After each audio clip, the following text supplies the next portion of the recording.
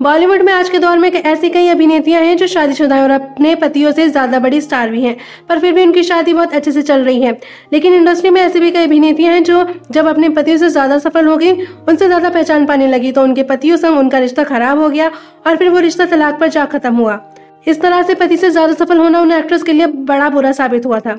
और आज की इस वीडियो में हम आपको कुछ ऐसी बॉलीवुड अभिनेत्रियों से रूबरू कराने वाले हैं तो आइए एक एक करके मिलते हैं उनसे। नंबर एक चित्रांगदा सिंह। चित्रांगदा सिंह ने गोल्फर ज्योति रंधावा से शादी की थी और शादी के बाद ये इंडस्ट्री में आई और छा गई। पर इनके पति का, इनका उनसे फ़ेमस होना पसंद नहीं आया, जिसके चलते दोनों में वाद विवाद हुए और फिर तलाक लेकर अलग हो गए। तलाक के बाद ये थोड़ी टूटी तो सही, पर खुद को संभाल लिया और अपने करियर पर फोकस करने लगी।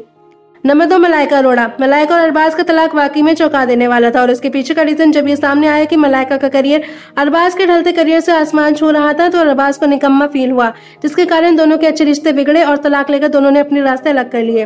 नंबर तीन राखी गुलजार। राखी ने जब गुलजार से शादी करने के लिए हाँ की थी तो जब गुलजार साहब ने उनके आगे शादी की बाद फ़िल्मों में काम करने की शर्त रखी थी, जिसे इन्होंने मान लिया था।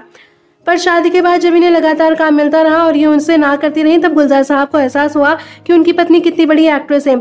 पर और मर्दों की तरह उन्हें अपनी बीवी से इनसिक्योरिटी फील हुई और उन्होंने इन्हें काम करने से मना कर दिया। पर इन्होंने आवाज़ उठाई और उनसे अलग होकर काम करने लगी। नंबर चार मलिका शरावत। मलिका शरावत ने करियर की शुरुआत में शादी कर ली थी, पर इनके पति करण गिल ने इन्हें हमेशा से ही रोका आगे बढ़ने के लिए। पर इन्होंने काम करने की जिद रखी तो इनके पति ने इनके सामने उन्हें और करियर में से एक चीज़ को चूज़ करने के लिए कहा तो इन्होंने करियर को चूज़ किया और पति को छोड़ दिया। नंबर पाँच कोंकणा सेन शर्मा। कोंकणा सेन शर्मा और रणवीर शौरी का तलाक भी काफ़ी चर्चा में रहा था, पर दोनों का तलाक भी इनके पति से ज़्यादा फ़ेमस होने की वजह से हुआ था।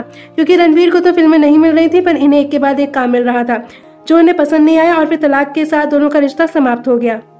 तो दोस्तों, आप क्या कहना चाहेंगे इन अभिनेत्रियों के बारे में? कमेंट करके ज़रूर बताएँ। साथ ही इसी तमाम खबरें जानने के लिए चैनल को सब्सक्राइब करना ना भूलें।